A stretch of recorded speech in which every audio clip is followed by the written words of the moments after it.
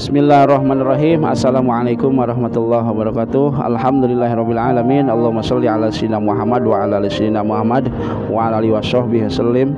Wa ba'd.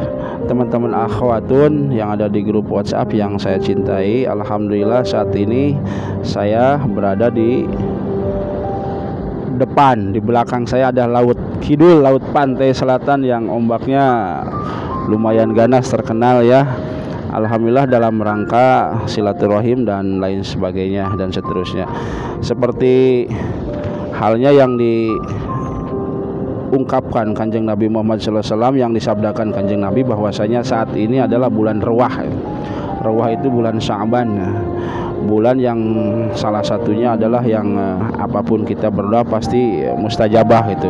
Bulan yang salah satunya sangat agung setelah bulan Syaban yaitu bulan Ramadan yang kita tunggu-tunggu.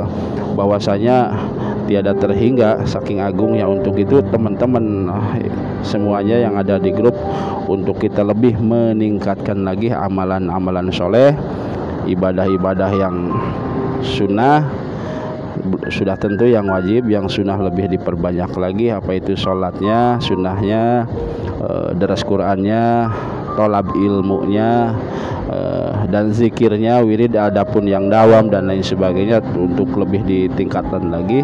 Setelah itu perbanyak juga falyuksir untuk perbanyak berdoa.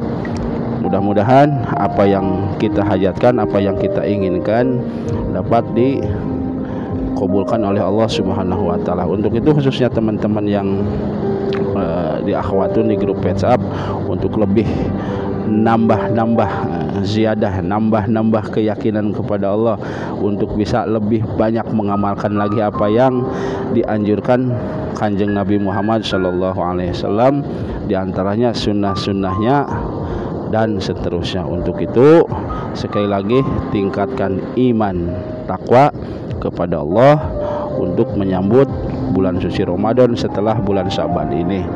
Sementara itu yang saya sampaikan dari pantai selatan di belakang saya, subhanallah ombaknya tinggi sekali. Bisa kita jadikan untuk tafakur, untuk tadabur dan seterusnya bahwa Gusti Allah itu maha segala-galanya.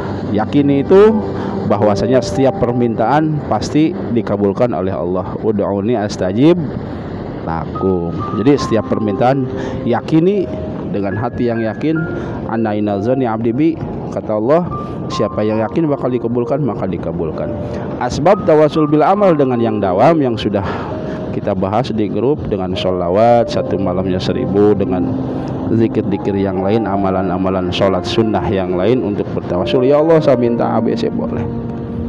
Apa insya Allah uh, kita lebih banyak uh, bertafakur untuk muhasabah untuk tazkirah bahwa saja di mata Allah kita manusia yang sangat doib manusia yang tidak ada apa-apanya di mata Allah untuk itu untuk support bahwasanya kita lebih banyak lagi bertakwa beramal soleh untuk bekal kita nanti di hari kemudian. Wallahu a'lamu bisawab. Mohon dimaafkan apabila ada kata-kata yang salah. Wassalamualaikum warahmatullahi wabarakatuh